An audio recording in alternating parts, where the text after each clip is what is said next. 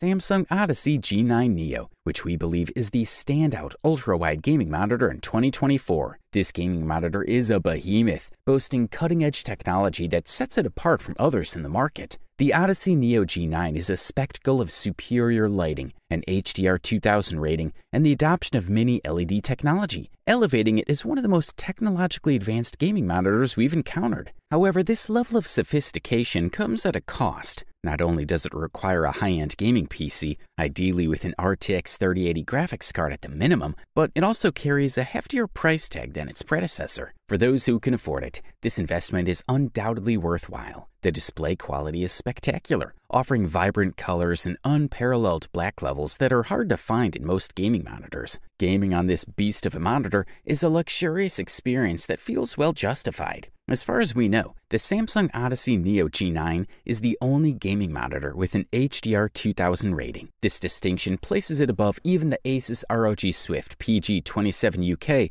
and ensures it delivers the best HDR experience we've seen, even surpassing some TVs. While the original Odyssey G9 was already a leader in the ultra-wide gaming monitor category, the Neo version takes it to an extraordinary level. It's the perfect choice for gamers who want the best gaming experience money can buy. The size of the Samsung Odyssey Neo G9 is impressive. Although it's obvious given its 49 inch ultra wide monitor specification, the true enormity doesn't hit you until you unbox it and place it on your desk. Like its predecessor, it features a small joystick button combination situated slightly to the right of the center at the bottom of the screen. This button can be pressed to display an on screen menu, allowing you to tweak the monitor's various settings. It can also be dragged sideways to switch inputs quickly, or moved up and down to adjust screen settings like brightness and contrast rapidly. Good stuff.